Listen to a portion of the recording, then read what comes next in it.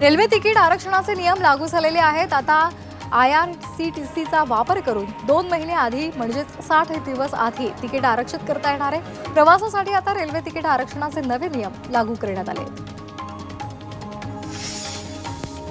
मुंबईमधील हवेचा दर्जा मध्यम श्रेणीमध्ये नोंदवण्यात आलेला आहे. काही भागात अतिवाईट श्रेणीमध्ये सुद्धा हवेची नोंद करण्यात आली आहे. इतर काही भागांमध्ये वाईट ते मध्यम श्रेणीमध्ये हवेची नोंद झाली आहे. तसंच ही परिस्थिती आणखी दोन दिवस कायम राहण्याची शक्यता आहे. राज्यासह देशभरात नोव्हेंबर महिन्यामध्ये अपेक्षित थंडी पडण्याची शक्यता नाही आहे मध्य आणि दक्षिण भारतामध्ये सरासरीपेक्षा जास्त पाऊस पडण्याची शक्यता आहे. हवामान विभागाच्या महासंचालकाने नोव्हेंबर महिन्याचा अंदाज जाहीर केलाय. बदलापूर शहरामध्ये प्रचंड धुकं पसरलेलं आहे. सकाळी संपूर्ण बदलापूर शहरावर धुक्याची चादर पाहायला मिळाली.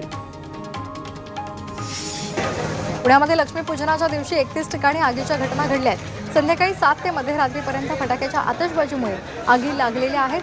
काही ठिकाणी कचऱ्याला आग लागली तर काही ठिकाणी झाडांना आग लागल्याच्या घटना घडल्या होत्या.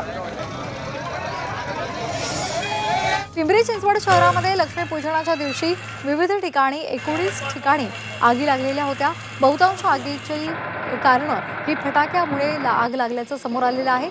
सुदैवानं अग्निशमन दल आणि नागरिकांनी वेळीच आग विझवल्यामुळे जीवितहानी टळली आहे. साताऱ्याच्या कवठे इथल्या हायटेक कंपनीमध्ये भीषण आग लागली. सुदैवानं या घटनेमध्ये जीवितहानी टळली आहे. अग्निशमन दल तात्काळ घटनास्थळी दाखल झाल्यामुळे आग आटोक्यात आली आहे. वाशिममध्ये विधानसभा निवडणूक आचारसंहिता लागू झाल्यामुळे शासकीय मदतीचा निधी रोखला गेलाय. त्यामुळे अतिवृष्टीमुळे झालेल्या पिकांच्या नुकसानीचे पंचनामे पूर्ण झाले असून शेतकऱ्यांना अद्याप मदत मिळालेली नाही. आचारसंहितेमुळे निधी रोखल्यामुळे नुकसानग्रस्त शेतकरी आर्थिक संकटात सापडलाय. इस्रोनं चंद्रावर मानव पाठवण्यासाठी नवं पाऊल उचललंय. इस्रोनं अनालॉग अंतराळ मोहिमेला लडाखमधील लेह इथून सुरुवात केली आहे. भारताची ही पहिली मोहीम असून त्यासाठी आय आय टी मुंबईसह अनेक संस्थांनी सहकार्य केले आहे प्रसिद्ध फॅशन डिझायनर रोहित बाल यांचं दीर्घ आजारानं वयाच्या त्रेसष्टाव्या वर्षी निधन झालंय. ते सर्वसमावेशक पोशाख डिझाईन आणि त्याचबरोबर पारंपरिक आधुनिक फ्युजनसाठी ओळखले जायचे. अमरावतीमध्ये राणा दाम्पत्याने जल्लोषामध्ये दिवाळी साजरी केली फटाक्यांची आतषबाजी करत मुलाबाळांसह त्यांनी दिवाळीचा आनंद लुटलाय लक्ष्मीपूजनाच्या निमित्तानं विठ्ठल रुक्मिणीला पारंपरिक सुवर्णालंकारांचा साज चढवण्यात आला होता. विठ्ठल आणि रुक्मिणी मातेचं मनमोहक रूप पाहण्यासाठी भाविकांनी पंढरपुरात गर्दी केलेली होती. तसंच दीपावली निमित्तानं मंदिरामध्ये गाभाऱ्यालाही सजावट करण्यात आली शिर्डीमध्ये साई मंदिरामध्ये परंपरेनुसार लक्ष्मीपूजन करण्यात आलं.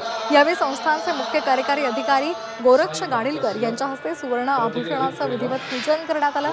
दीपावली निमित्तानं साई मूर्तीला एक कोटी तीस लाखांच्या आभूषणांचा साज चढवण्यात आला.